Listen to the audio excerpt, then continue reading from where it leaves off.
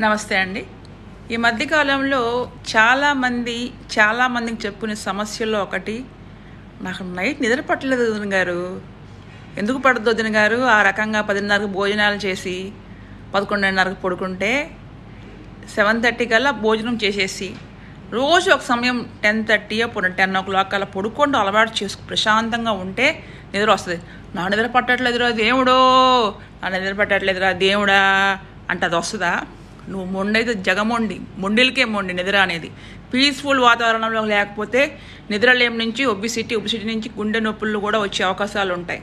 దయచేసి చెప్తున్నాను సమయపాలనలో ఆహారం తీసుకోవడం చక్కగా పడుకోవడం ప్రయత్నం చేయండి.